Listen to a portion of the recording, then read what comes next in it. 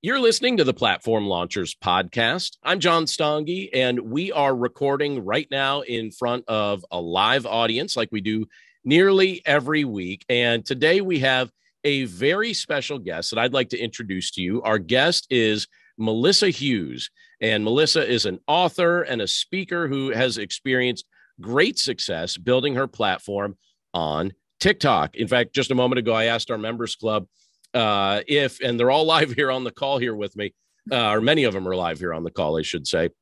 If anyone had at this point thought about building their platform using TikTok as one of the marketing engines, and so far, we have not, as a group, ventured into that. So this is fresh material or a fresh group for Melissa to speak into. But I had the chance to hear Melissa speak last month at PodFest.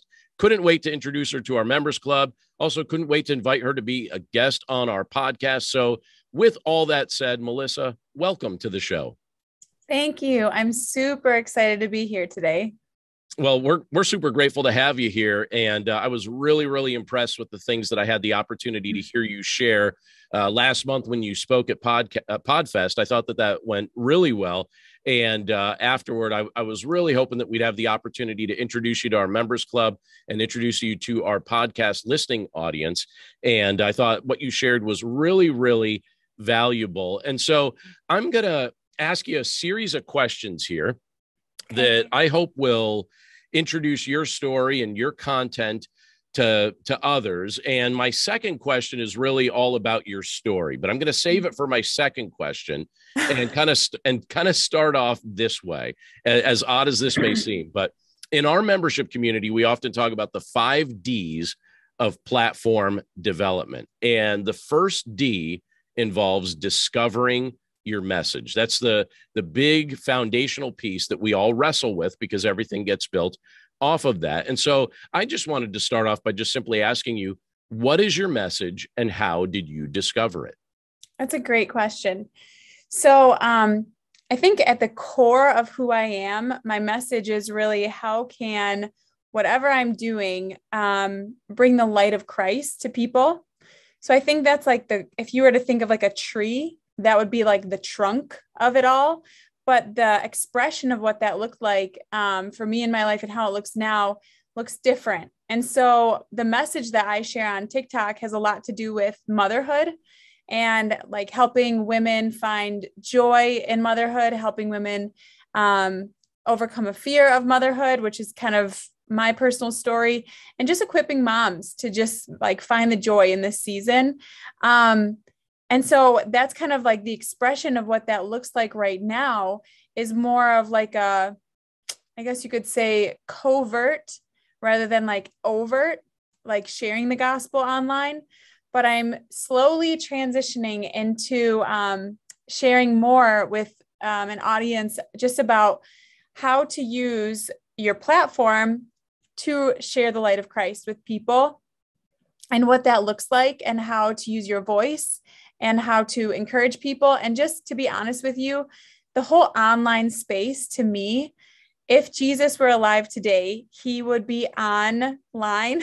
he would be sharing, he would be encouraging, he'd be communicating with the world online because it's such a great platform. So, um, I hope that answered your question, but the totally. core of it is how we can inspire people in faith in Christ and uplift people. Absolutely, and it wouldn't surprise anyone here on on our call live or anyone listening to the podcast. So so much of the content that I've been creating through the years is faith based content, and it's not the only thing I create, but it's you know at the core of what I care most about. That's what I care most about, and so mm-hmm. you know to hear other people that are valuing uh, things of that deeper or eternal nature is something that is certainly wonderful. And I knew that about you ahead of time. And so, even inviting you to be on the call tonight, it doesn't surprise me to hear that that's a big part of what's motivating you to create your content.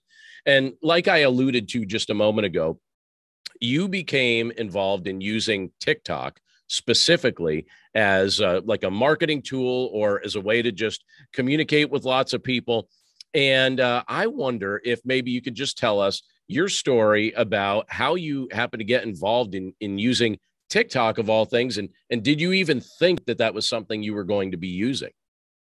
No, not in a million gazillion years. Not even close to remotely in my head. Um, just basically, kind of what happened is in 2020, I lost my job. So, you know, a lot of people ex- face some unexpected circumstances. And in order to keep like our family's health benefits and we were looking for a house, I needed a job. And the only one that was available at that time, the people that were essential childcare workers. So I started working in childcare and I would drop my children off at one end of the building and go look after other people's kids, which for any mom listening knows that that's not the dream. that is not the dream. Um, and so I was really in this space where I was just praying and asking God, you know, the plan that I had kind of got derailed. So, what's the plan? What's happening? And anyone in transition understands transi- transitions just suck. They just really do. Um, and so I felt like I was really in this space of like, what's the next step? And I had nothing for months, nothing.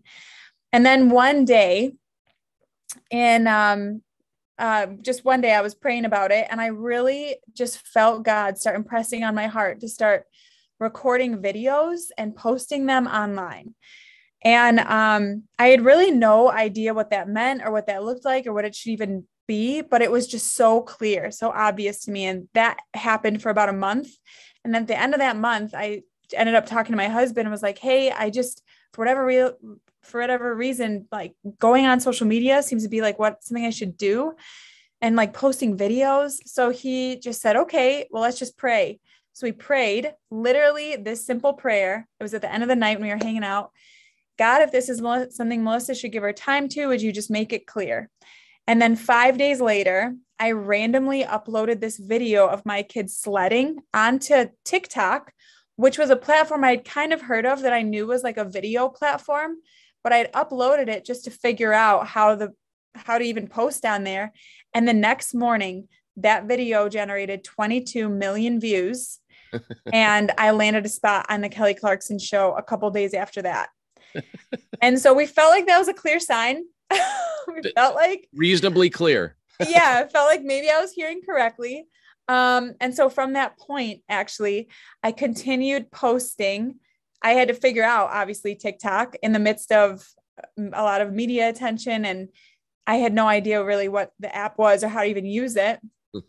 so I just continued working my childcare job. And in the midst of being a mom and working full time, the only time I had was my lunch break. So I would record my TikToks in my car on my lunch break. And I grew my account to over today 225,000 followers um, by just recording videos in my car just to deal with motherhood. And so, um, and now uh, I actually, in the beginning of this year, I was able to leave my childcare job and I now do this full time. And I work with entrepreneurs podcasters I love working with to leverage that platform to share their story, their product, or their service so that they can grow their business or grow their podcast. And it's awesome. That's awesome. Yeah. My, my question was, you know, so what's, what's happened since, you know, all this, all this blew up and it's really turned into something that, that you have really turned around into a service that you're able to offer other people that are really thinking about getting involved in these things and and doing these things i mean how, how has this changed your day-to-day life oh it's completely changed my day-to-day life to be honest um the only thing i really wanted when i for like when i was obviously lost my job was i just want to be able to spend more time with my children right? Like i get that those years are there i have a five five year old now and a four year old and i just don't want to waste that time. I didn't want to miss it. So now i have a job that i'm able to work from home and be with my kids um but so in that regard like that has completely changed my life but also i ended up having a children's book company reach out to me and they made a kids book out of one of my tiktoks and so now i have like a i'm a published author um, for a kid's book. And um, as far as like working with people, I'm work. I feel like I'm living the dream in the sense of I'm, I'm working with people that are talking to me every day about what they're passionate about, what they love, and I'm helping them showcase that and share their story, which I never realized was something that I love doing, but I guess God has better plans, right? Yeah. Exactly. I hope people know that. if you are in transition right now, you can trust him. He's got a good plan for your life. He knows you better than you know yourself. Yeah, and it's it's interesting because when you describe, you know, March of 2020 when everything was changing and and the career that you had been serving in, all of a sudden that opportunity went away. That that had to be a very confusing time. But we're not that far removed from all of that. And your life is drastically different from that. And you don't seem too upset about it. You seem rather happy about these opportunities that you've been blessed with. Yeah. Yeah, for sure. So do you, do you want to do something fun here uh, while we're uh, while we're on the call here and uh, and and just kind of do it like a case study here of what advice would Melissa Hughes give to a, a member of platform launchers? Okay, this one's going to sting, guys. So are you ready? Brace yourself. Brace yourselves. Now, uh, now, all right. Do you have general advice you're going to give, or do you want me to pick someone? That that's the other that's the other part of this. Oh, oh, I had the general advice but we'll play it your way however you want to play if you have if you want to pick somebody i'd be happy to give advice well i i was gonna i was gonna uh, pick b because b is the one that introduced me to you and mm-hmm. uh, I, I was gonna see if b felt like playing along with this uh, this next part of the call so b are you in a position here where you feel uh, apt i didn't even warn b that i might do something like this so b is this okay with you This is one of the risks of being on a uh, a, a, live call. All right. So, uh, B, are you able to hear me? Okay. Yeah, but it's loud in here. Are you okay with that? Oh, totally. That this is okay. that's when you're recording in front of a live audience, you get background sounds. That's all right. All right. Okay. So B, uh, give a plug for your platform for our listeners so that they could hear it, and then let's let Melissa speak into what you do and how you might be able to use TikTok to kind of elevate what you're building. Okay, so I speak to people about the labels they collect through life and how they block us from achieving our goals and really showing up authentically in the world. Um, and then when I go to make TikTok videos, all of my own labels are like ping, ping, if I'm being honest. yes. Yes, I totally understand that. And um, the advice that I would have to give to you would be you literally have to talk to the camera like you're talking to your best friend. Um, and one of the biggest struggles I think that people feel is, you know, how am I going to come across? What are people going to think? And they go, you go through this stage in the beginning where you feel cringy. And to be honest, I still feel cringy um, when I do some of my videos. You have to embrace the cringe because nobody else like you feel it it feels cringy for you because it's like oh i'm on camera and my voice and what am i saying about like it all comes in your head but you really do just need to push through the cringe talk to the camera like you're talking to your best friend and just start posting.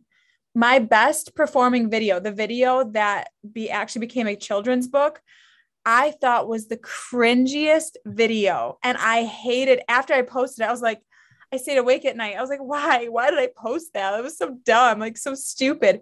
It has gone viral on every platform. It has like oh, it has over millions of views.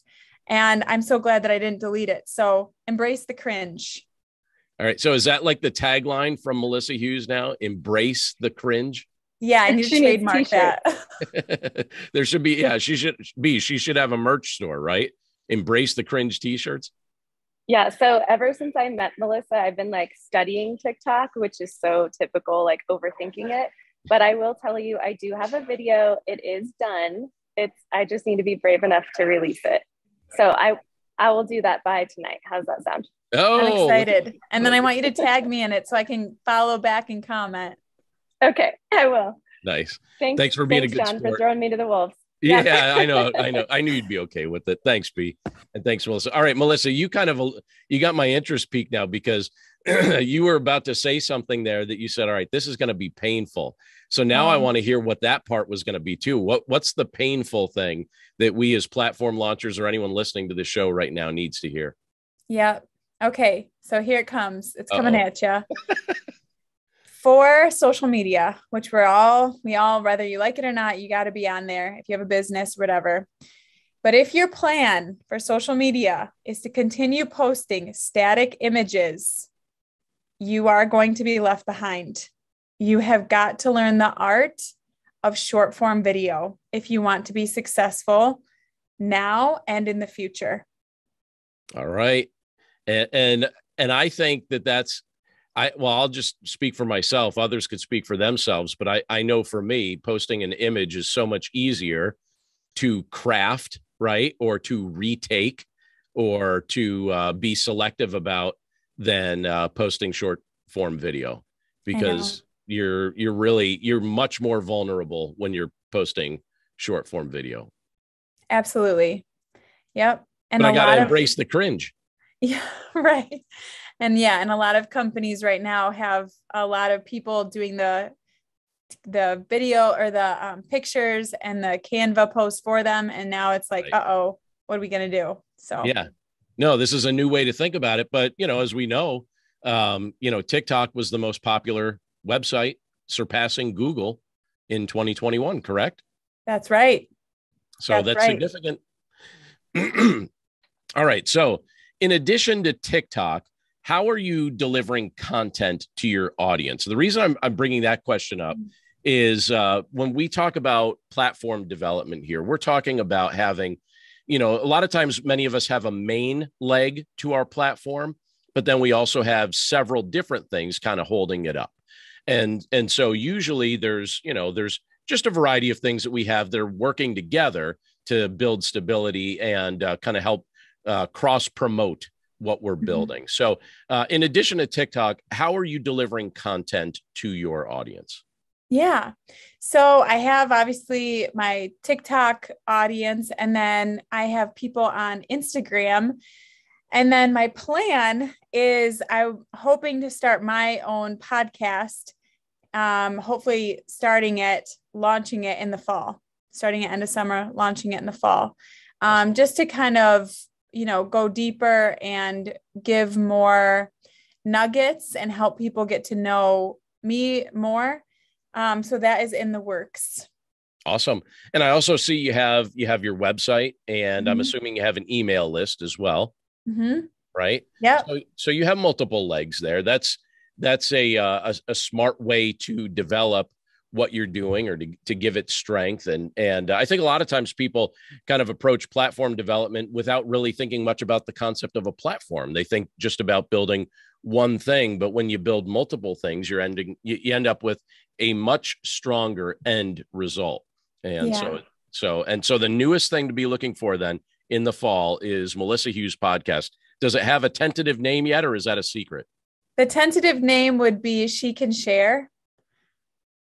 Wonderful. She can share. So it's not embrace the cringe. It's she can share. I don't know. Maybe I should do embrace the cringe. That that's kind of catchy. that came to me, but I'm kind of digging it. Yeah, I don't know. You, you you said it a couple times there, and I I thought that's that's clearly. I mean, it's good counsel, right? When you're helping us uh, do this, but I think your your focus with She Can Share is probably also about helping mothers, right? And uh, and just helping to encourage them in their in their daily responsibilities and probably their faith as well. Is that correct? Yeah, and hopefully, uh, like helping you know, for me, like I was a mom, but I wanted to figure out a way that I could create an income for myself and like use my voice, use my passions, use my talents. So it's like, you know, maybe you're a mom and you want to figure out how you can do that. And so it's purpose driven as well. Right. Which is fantastic. And that kind of leads into the next thing I really wanted to ask you about. Uh, how has developing your online platform with the different things that you're offering, how has that contributed to your household income?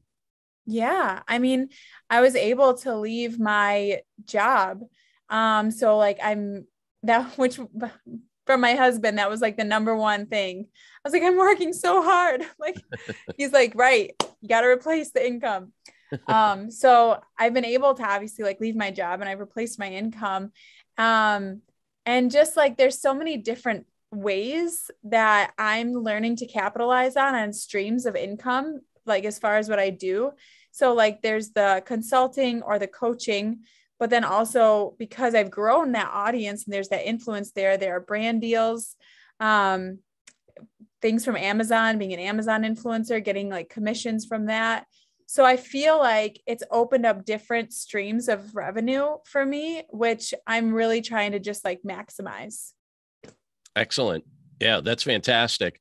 Um, and, and so basically at, at this point now, um, you know, as you've got all these different things going on and this continues to build, and this is now turned into a, a, a good source of revenue and, and income, it, it sounds like you, you know, you've really boiled down how you help other people with this task. If they want to build a presence on TikTok and they would like to really capitalize on that, you've got a system figured out for them to be able to tap into, correct?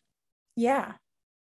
And so if somebody wants to reach out to you for help and they'd like for you know your assistance and and uh, and your direction on what to do next, how can they go about reaching you and and what's the process that you'll bring them through?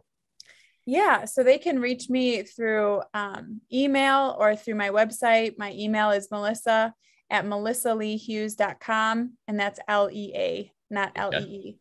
But um, through so through email um, or my website, melissaleahughes.com, and there's you can actually download a free TikTok content blueprint for yourself if you're looking to get started, and that is the exact blueprint on how you should be communicating on that platform. Um, so that would be the first thing. You know, it's always easier to contact somebody that's walked the path and have them coach you than try and DIY yourself. Take For it sure. from someone that wishes they had somebody like that last year. Oh yeah. Um, but um, the first step really would be to figure out, you know, obviously like what your goal would be with TikTok, but but then you download the app create your profile, create um, your bio, like what people are going to get from watching your videos. And then you really do just need to start recording and start making content. Um, there's a process that I take my clients through that would be probably different to somebody else just starting out. So if somebody's just like wanting to DIY and just go for it, I would recommend you just start posting and get feedback from you know your audience and people. But when they work with me i have them actually create about 25 pieces of content with me and we go through it and then we have a launch day. So awesome. yeah. Very cool. Very cool all right well melissaleahughes.com and lee being spelled l-e-a so melissaleahughes.com be sure to check that out i also saw on your website people people can schedule a discovery call with you there mm-hmm. if that's mm-hmm. something that they're interested in in searching uh, or interested in uh, in pursuing, I should say, and uh, and that's really a, a, great way that they can get started. If you're interested in building something on TikTok that can let then that could ultimately shed a light on the other things that you're building, Melissa's got a great system and lots of great experience. And you're also the other nice thing is you know you'll be dealing with somebody of character if you reach out to her. So I'd encourage you, if this is something you're serious about building, she's a good resource that you definitely want to be following and definitely want to be tapping into the things that she offers. And in just a second, our members club is going to be asking Melissa all sorts of questions related to TikTok and and some of the things that that uh, we could be doing as we're building our platforms. But if you're listening to the podcast and you're not a member yet, we'd encourage you to go over to platformlaunchers.com. You could take a free two week test drive of our membership course here or our membership community and jump on a, a, few calls with us if you'd like and see if this is for you. You could also access the full 60 minute recording, including the conversation we're about to have with Melissa as we kind of just you know pounce and ask a whole bunch of our questions here and, and really try and glean from her wisdom. And uh, you can check that out as well if you'd like but just go to platformlaunchers.com and you'll be able to check that out right away. So melissa thanks for being a guest for our podcast. We look forward to chat with you in just a moment here with some more q&a for our members club. Thank you so much